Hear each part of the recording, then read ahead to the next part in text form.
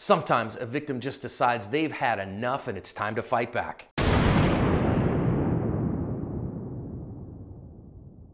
Welcome to today's active self-protection lesson. I'm your host, John Correia. Today's video comes to us from Johannesburg, South Africa. Today's video is brought to you by the generosity of Newbold targets. Newbold targets are self-sealing reactive polymer targets that act like steel targets for training and practice, but are safer than steel.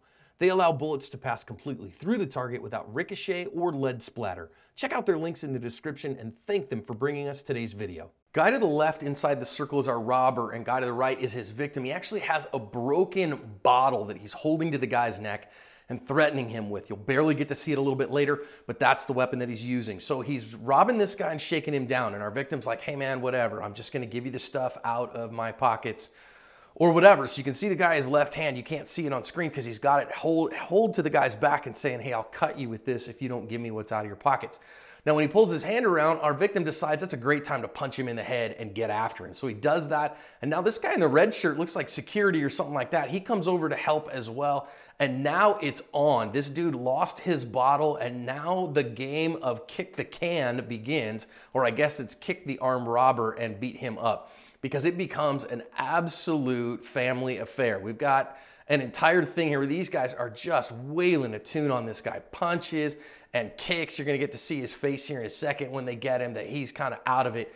And then they're going to actually let the intended victim get a couple of good licks in as well for good measure. And that's where this one ends. I got to admit, it was satisfying watching him haul off and punch that guy.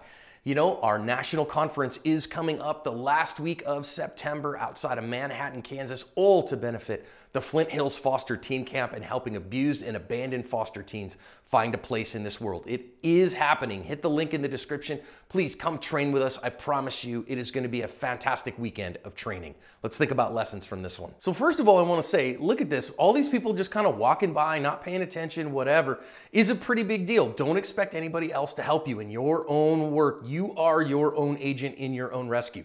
Don't expect anybody else to come and help you.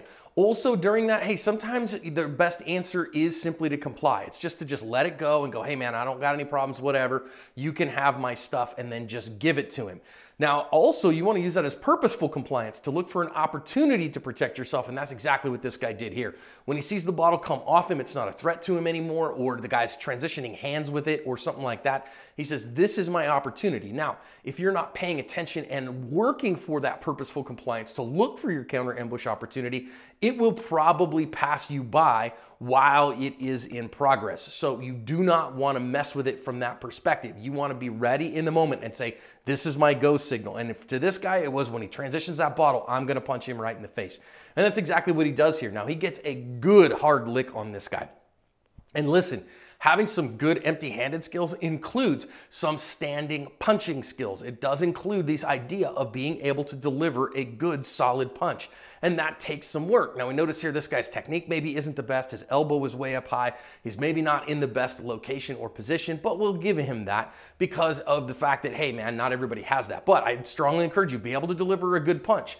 Now, that said, even delivering a really good punch may not take the guy out. Notice here that as we stop, this guy is, is fully able to continue to fight. So that first punch may not do it. You better have the empty-handed skill set to continue this fight. So that guy's still got this little broken shard of bottle or whatever in his hand and he's ready to fight about it. So you better be ready to have a fight at this kind of distance. And if you notice, this is a, a standing contact distance fight. So I hear all the time that, well, you know, you're only gonna really fight on the ground. Jiu-jitsu is the only way to go. And, and I'm a jiu-jitsu guy. I like training in that stuff but you better have some standing striking skills as well. Now, dude jumps in from behind, looks like a security guard to me because he comes up out of the blue here. Okay, fine. But notice here that when he comes up from behind and gets a counter ambush, that he starts with the arm. And I think that's an incredibly important part of this here that he starts by dominating the arm with the tool in it. And we talk about that in the 5Ds plus one. Control the distance, then deflect, dominate, distract, disarm, disable. Because you see as the guy pulls away here that our good guy still has a hold of that arm. He has it dominated and so our guy is not able to get his weapon back and get it into the fight as fast as he wants. So when we talk about this, that we deflect the tool away from us so that it doesn't hurt us in that moment, and then we dominate the hand with the tool, the arm with the tool, the person with the tool, and at least dominating that arm with the tool so it cannot go out and around and orbit back around to us is incredibly important. And now we're gonna start a beatdown here, okay? So listen, at some point you gotta say, no, we're good people, we're not gonna go after this, we're not gonna do it this way. But I totally understand that this guy is a threat to the entire community, and so the entire community decides that they're gonna give him a bit of an educational beatdown. I don't want you to get in trouble with the law, so I'm not gonna recommend those things. But I also wanna say, a kick can be an absolute fight stopper. Look at the face of our bad guy here is that that kick to the solar plexus really took it out of him.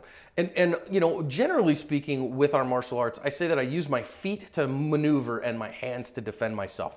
But a well placed low kick to the legs, to the groin, and sometimes to the solar plexus like this on an opponent who's down can be absolutely devastating. And if ever you've done anything like Muay Thai or something like that, seeing somebody use their shins to disable somebody can be very, very impressive. And again, finally, you got to know when enough is enough. They're really wailing a tune on this guy. You got to just get him to the authorities and let the authorities take care of him. But I get it. People get angry in that moment and they want this stuff to not happen in their communities. And sometimes a little educational beatdown is what that takes. And so I get it. So let's pay attention here to know what when compliance is the right answer, to purposefully comply and look for an opportunity for a counter ambush. When it shows up, be definitive, have the empty handed skill set to handle your business. Don't expect anybody else to come to help you and know your 5Ds plus one as you seek to cover your ASP.